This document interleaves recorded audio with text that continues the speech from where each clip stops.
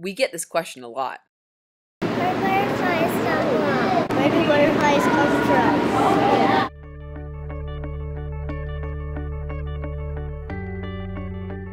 Butterfly farming is a really fantastic, sustainable way to keep the rainforest intact.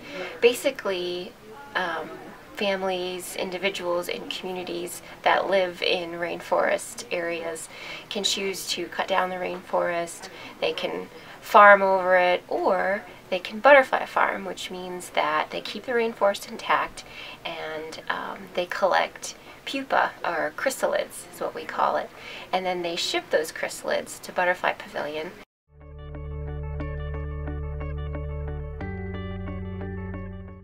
So Ernesto, tell me why we got started with butterflies. Well, we started here because uh, with butterfly looking for a way to to make the farm sustainable.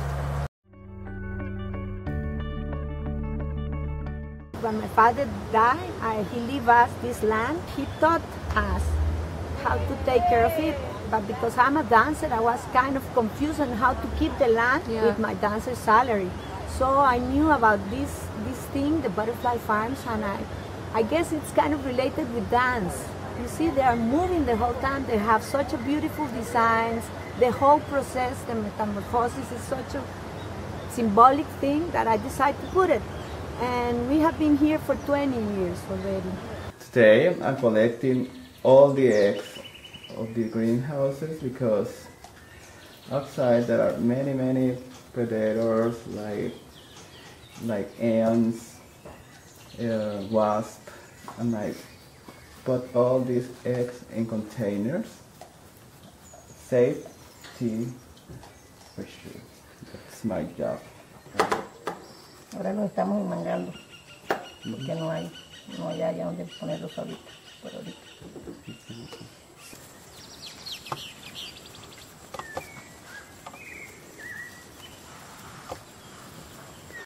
We are right now are not thinking in commercial way. We are thinking more in a in a na- nature way. About this place, we used to have a slogan that says small is beautiful too. You see, about this place because we think people should get aware of small things and big things. When uh, when this project started, was um, the idea was uh, a hundred thousand hectares of reforestation. Um, it changed a little bit goal. We want hundred thousand hectares of forest.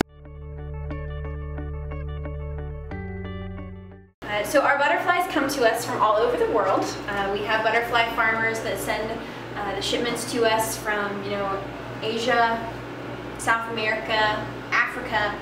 And to get them to us, you know, they raise them from the caterpillars and then they put them, or once they pupate, uh, they wrap them in a box, put them in a box, wrap them in cotton, and ship them to us in about two to three days. Uh, when they arrive here, we then unpack them, sort them into the different species. Uh, you got to be really gentle because you know you can't kill them while in there in their chrysalis. Um, and then we glue them on the boards. then uh, they hatch and we release them into our rainforest